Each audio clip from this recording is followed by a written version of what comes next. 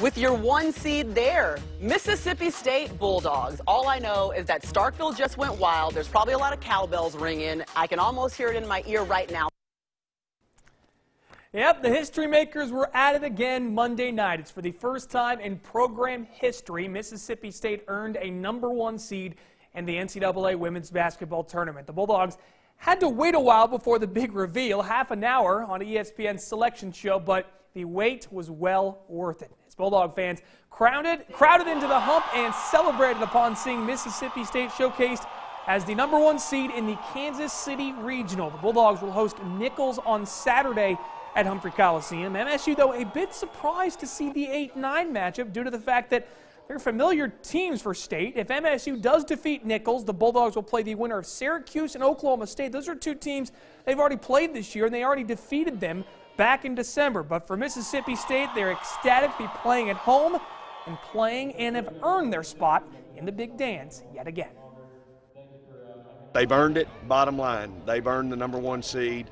Appreciate the committee uh, rewarding them with that. And now we got to go defend it. That's the bottom line. You're still going to get everybody's best game, best game plan, and you're going to go get some really good players. It's a great feeling knowing like our hard work is, you know, paying off and we're in the number one seed. So everybody's thinking, you know, highly of us and thinking that we could do big things. It's never been done here before, and I feel like we deserve and our teammates put us we put ourselves in a position to be able to do something like this. So it was an amazing feeling. Playing in the hump means everything. Our fans are awesome and they're so loud. They give us so much energy, and we want to play so hard for them. And so um, just to have another opportunity, especially for me as a senior, is really special. I think the last game that we didn't show them how Mississippi State plays, and I feel like we have another chance to basically show them how we really play and to let them know that we appreciate them so much.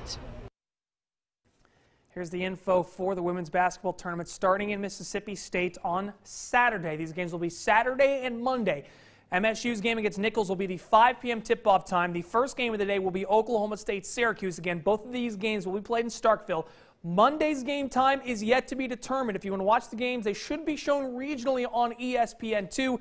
And by the way, if you're looking for a ticket to get into the Starkville Regional, it was announced late Monday night that it is completely sold out. There are no tickets available, so you're either going to have to scalp or find someone who has tickets because it's going to be hard to find one to break into Humphrey Coliseum for that Starkville Regional. Here's other notable information from the NCAA Women's Basketball Tournament. Also in that Kansas City Regional, Texas got the two seed, UCLA the three seed, NC State the four seed, and Maryland the five seed. So those are some of the teams that MSU could be running into down the road if they continue to win.